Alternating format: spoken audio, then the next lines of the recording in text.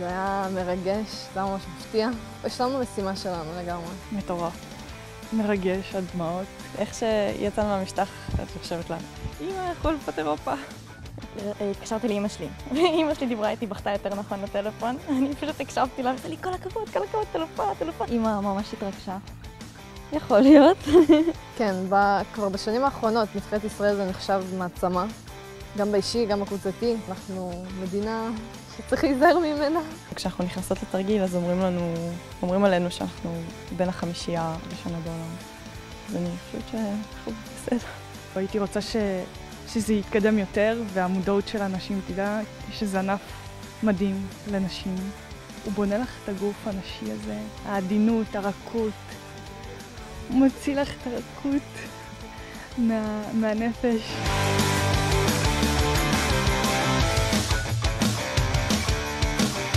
שבע. בגיל ארבע, שש. גיל חמש, בגיל ארבע. אמא שלחה אותי סתם לחוג.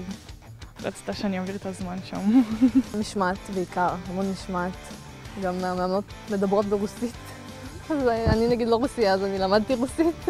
השעות הארוכות, החופשים, מתרגלים. דרישות יותר, יש הרבה אימונים קשוחים, הדרישות גבוהות. ירקות, חלבונים, פירות פה ושם. יש עוף, ירקות, דגים, בשר, חלבון. זה בעיקר ירקות, חלבונים, מעט מאוד פחמימות. בצקים. בצקים זה החולשה. כל פעם יש דודה אחרת. היה לי דודה לכנאפה. שווארמה גם. שווארמה. שוקולד. אוכל של אמא, בעיקר. פיצה של אמא, לאזניה, קציצות של אמא, הכל של אמא.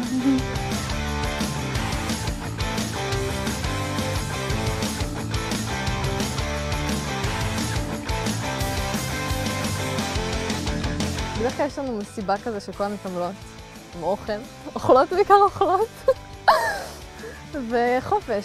בעיקר אה, מנוחה בבית עם המשפחה. מנסה ליהנות, להשתחרר, לזרוק את כל הלחץ שהיה לי לפח, ומצב שאני לובשת בגדי אימון.